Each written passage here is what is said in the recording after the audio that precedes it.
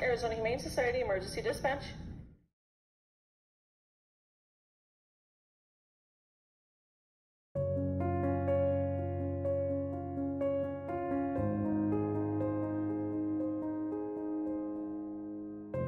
We got a call out to this, this facility about multiple dogs living in horrid conditions, dogs that were untreated, dogs in bad shape.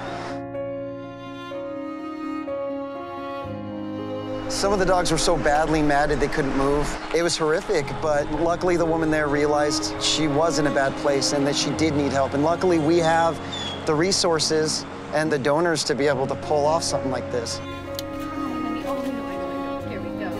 When we see an animal that's in distress, for us to get an animal out of those situations, I mean, that's why I'm here. That's why all of us work here, because we get to save that animal. Not only do we get to pull that animal from a terrible situation, we get to put that animal in a great situation.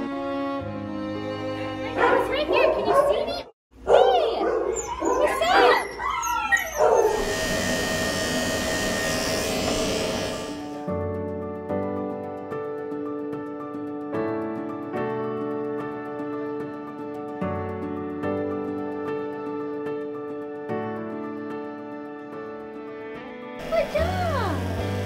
Oh, I saw you throw your.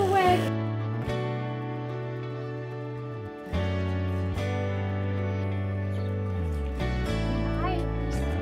Oh, no way. Wow. Look at this dog. I honestly cannot believe how he looks. Look at that.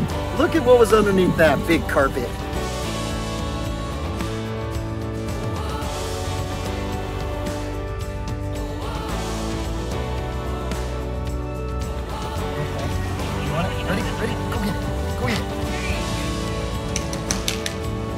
Job, buddy.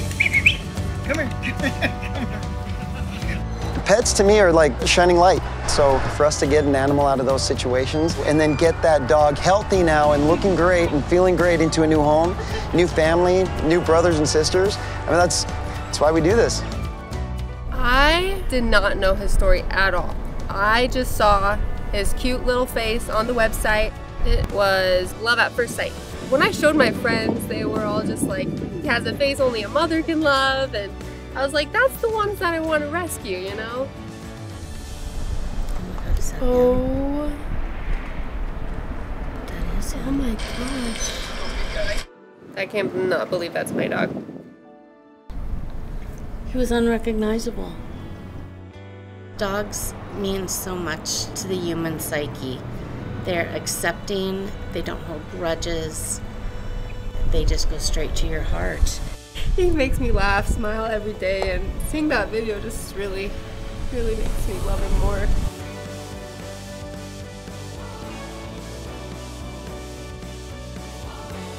It was your generosity that let my daughter have the opportunity to have this dog in her life.